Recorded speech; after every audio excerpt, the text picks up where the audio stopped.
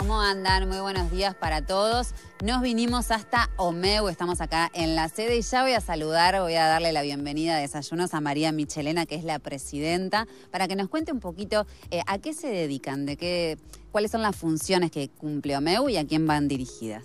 Bueno, OMEU tiene un cometido muy, muy, muy específico y básicamente es el desarrollo del liderazgo empresarial de la mujer en todos, los, en todos los ámbitos en los cuales participa, laboral y corporativo, y sobre todo en el desarrollo de la autonomía económica de la mujer.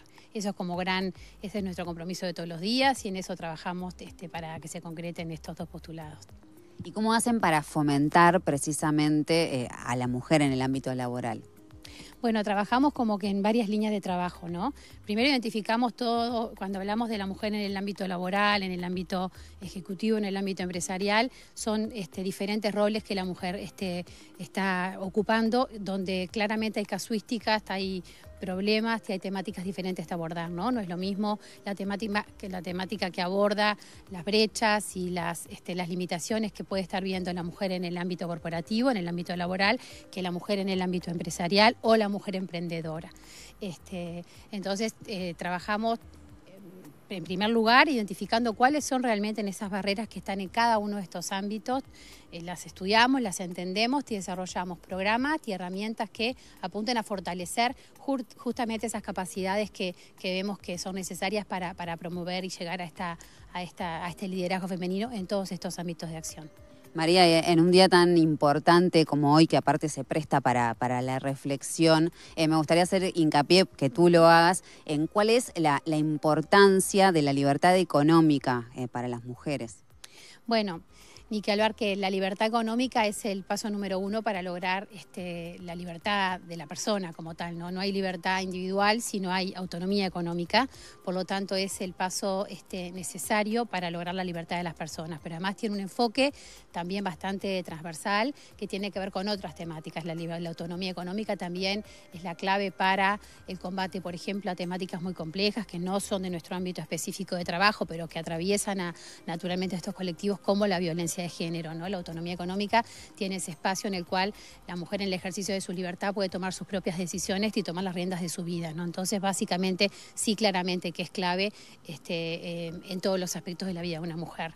Aspectos que tienen que ver en cualquiera de los contextos, siempre está atravesado en mayor o menor medida con diferentes enfoques además también, pero claramente es, es una limitante que más severa o menos, pero que, que atraviesa a todas las mujeres en su desarrollo.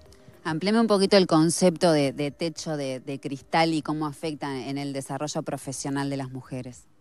Bueno, ese techo de cristal es esa cosa que sucede, que decimos qué es lo que pasa, que sabemos que eh, la mayor cantidad de estudiantes de carreras profesionales son mujeres, la mayor ay, perdón, la mayor cantidad de egresadas también lo son.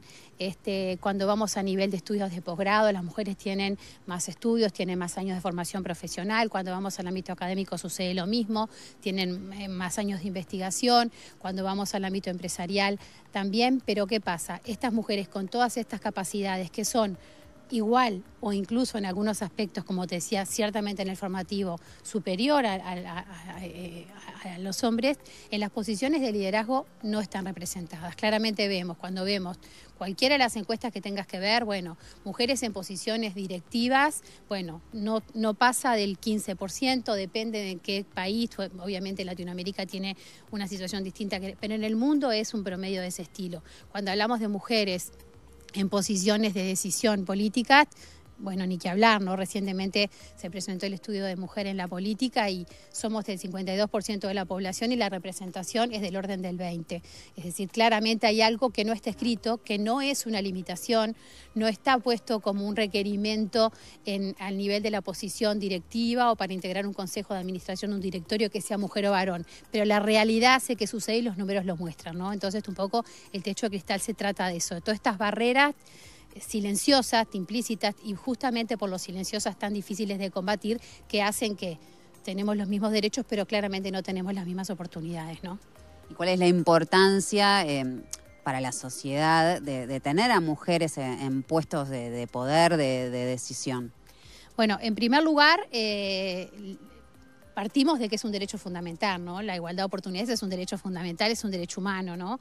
Este, entonces, eh, ya, eso nos da un contexto que eh, desde ese lado la importancia del respeto de un derecho humano.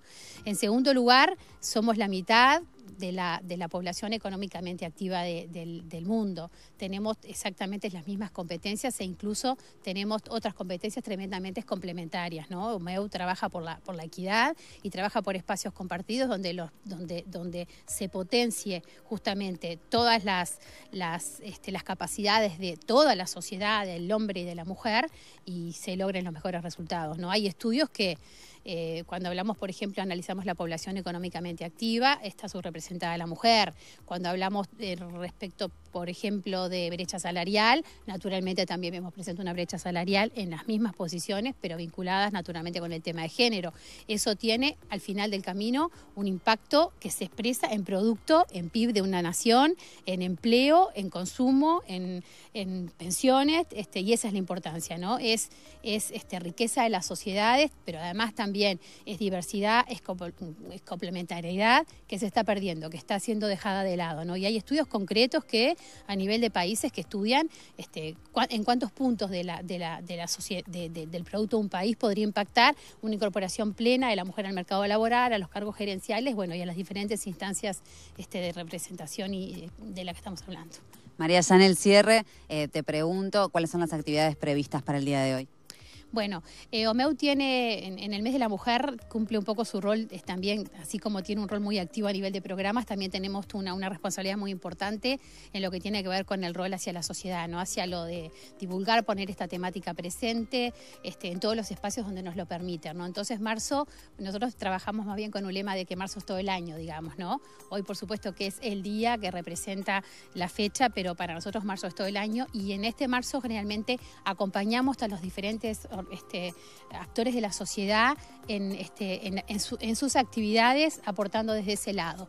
Específicamente hoy, naturalmente, participamos este, en, el, acto eh, oficial y venimos participando en otra cantidad de actividades a nivel de paneles que tienen que ver con comercio exterior, con diplomacia, con el ámbito laboral, con la autonomía económica y puntualmente nosotros tenemos en este, mes el, lanzamiento de nuestro programa de, actividades que es muy ambicioso y te invito a a mirarlo, este, porque además también este año Omeo cumple 15 años, es, es, un, es un crecimiento muy interesante, esto es la construcción de muchas mujeres que, que a lo largo del camino este, se han comprometido con esta causa. Este, eh, unas muy poquitas hasta principios, muchas más después. Este, hoy por hoy el principal activo de MEU, nosotros decimos, son este, justamente nuestras mentoras, esta, estas mujeres que, que, están comprometidas con esta causa, con este objetivo y acompañan a otras mujeres. Este, y, esta historia se ha dado a lo largo de 15 años y bueno, queremos este, festejarlo como, como corresponde y bueno,